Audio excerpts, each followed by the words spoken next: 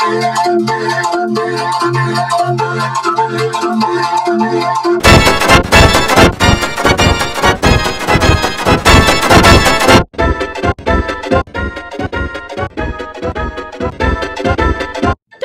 Now we add the syrup. Uh, that's...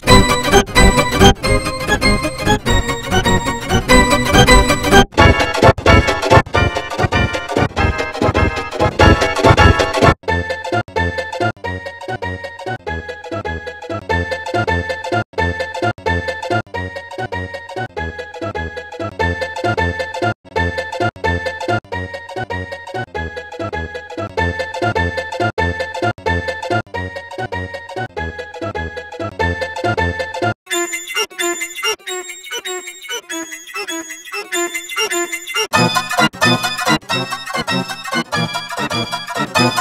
you.